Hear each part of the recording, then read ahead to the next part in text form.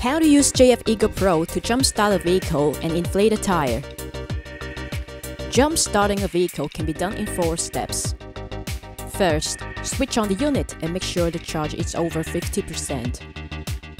Next, attach the clamps, red to the positive, black to the negative.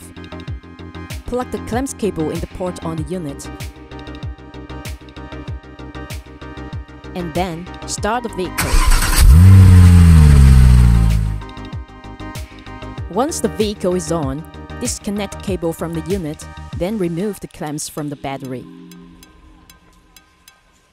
You can simply inflate the tire with JF Eagle in 4 steps. Take out the air hose from the back and power on the unit.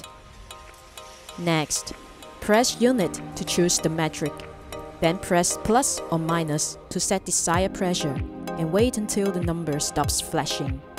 Screw the air hose directly onto the tire, or connect to the extensional hose before attaching to the tire depending on your need. After that, the current pressure will be displayed on the screen. Switch on the red button to begin to inflate the tire. It will automatically shut off when reaching the preset pressure. Remember to stop in every 10 minutes to cool down the inflator for 5 minutes.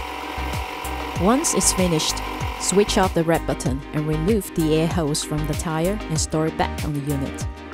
You can either power off the unit manually or wait for it to shut off automatically 3 minutes later.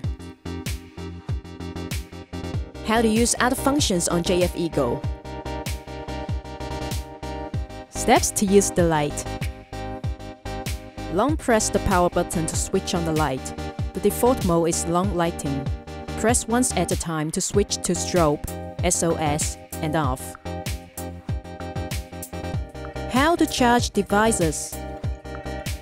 Connect the devices from the USB port, then power on the unit to charge. How to recharge the unit. JF EGWO Jump Starter has two ways to recharge, AC port or DC car adapter. Simply connect the unit with the power port the screen will display the charge level and a flashing in. It isn't until the in stops flashing, the unit is fully charged.